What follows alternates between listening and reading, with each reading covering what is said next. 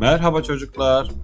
Bu hayatta sizlere çok güzel imkanlar sağlayacak olan İngilizcenin renkli dünyasında yineden beraberiz. 3. sınıfın son ünitesi Nature, doğa.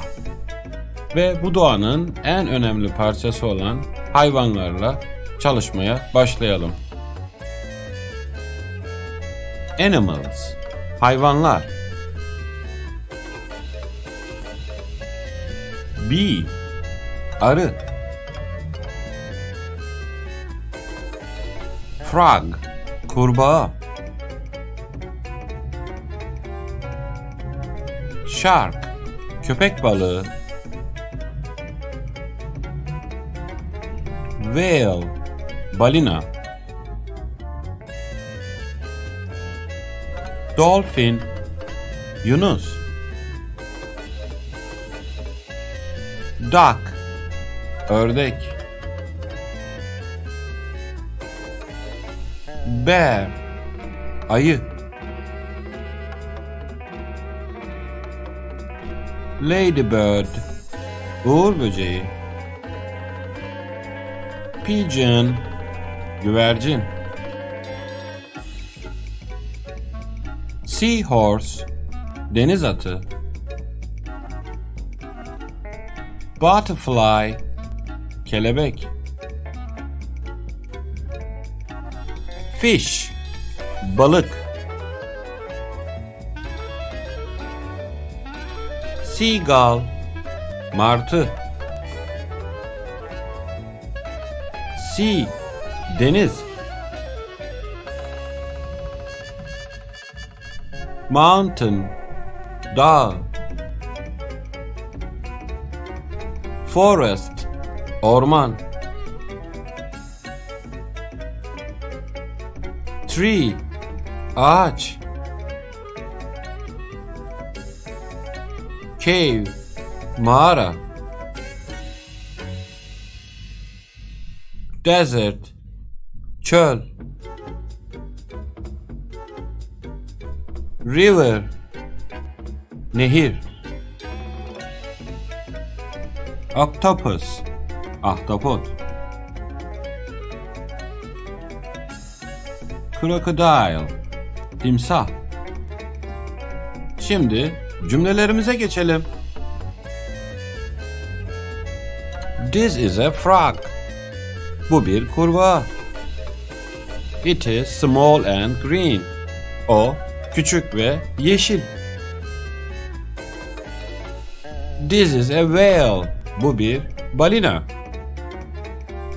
It is big and blue. O büyük ve mavi. This is a dolphin. Bu bir yunus. It is big and grey. O büyük ve gridir. Is the bee small? Arı küçük mü? Yes, it is. Evet, küçük. Is the bear small? Ayı küçük mü? No, it isn't. Hayır, değil.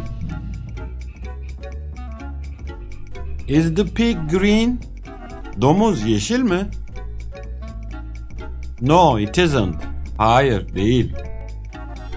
Like. Sevmek, hoşlanmak. Şimdi sevdiğimiz veya sevmediğimiz şeyleri nasıl anlatacağız? Yapı olarak bir inceleyelim.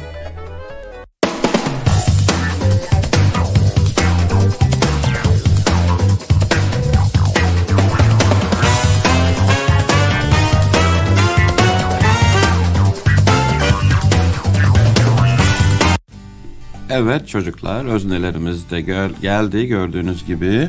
I, ben, you, sen, he, she, it, o, we, biz, you, siz, they, onlar.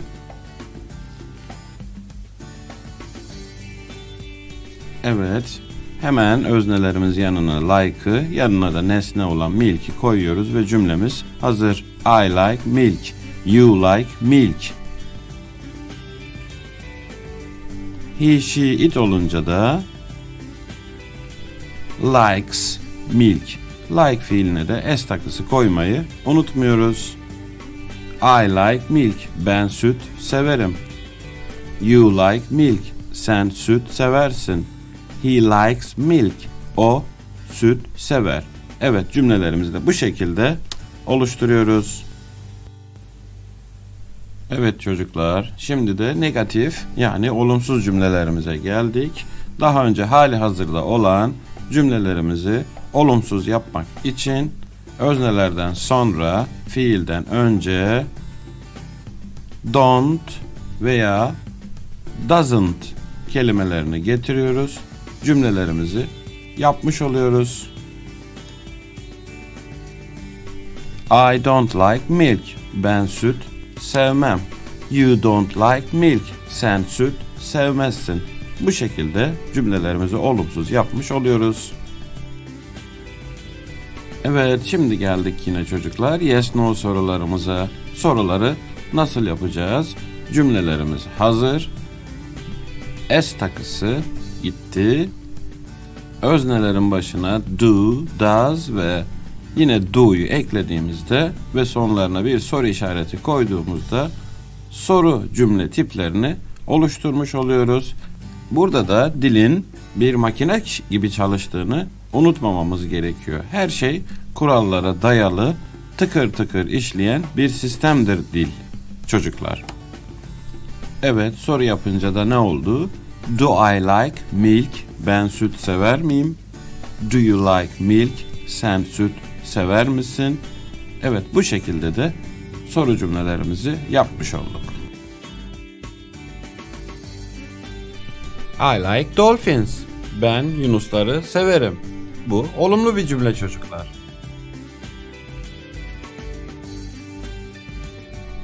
I like ducks. Ben ördekleri severim.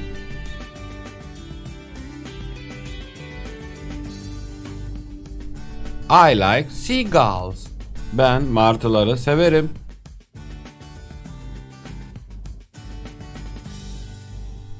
I like pigeons. Ben güvercinleri severim. I like dogs. Ben köpekleri severim.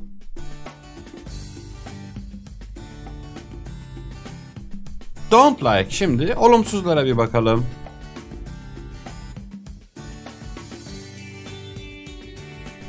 I don't like sharks. Ben köpek balıklarını sevmem. I don't like bears. Ben ayıları sevmem.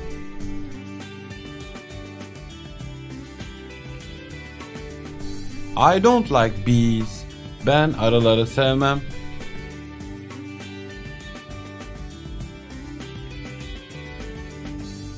He doesn't like snakes. O yılanları sevmez. Evet şimdi geldik but. Yeni konumuz but. Fakat demek çocuklar. Şimdi örnekler üzerinde inceleyelim.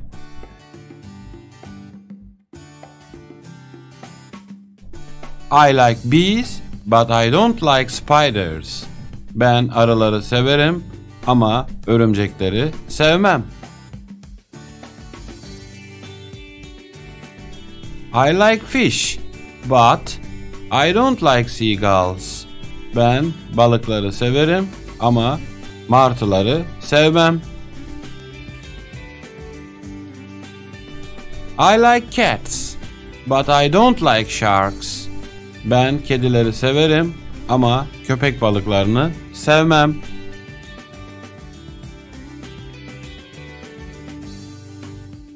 Şimdiki konumuz there is. Yani vardır demek. Bir şeyin var olduğunu göstermek için kullanacağımız bir yapı. Haydi örnekler üzerinde inceleyelim. There is a ladybird on the table. Masanın üstünde bir uğur böceği var. There is a frog on the lake. Gölde bir kurbağa var.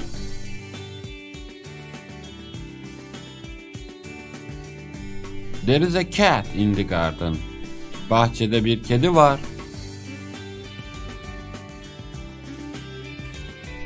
There are. Çoğul olan nesneler için there are'ı kullanacağız.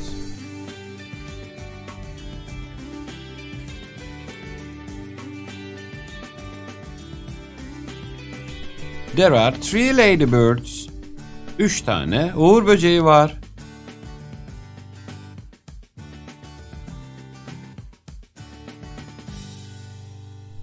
There are two foxes. İki tane tilki var.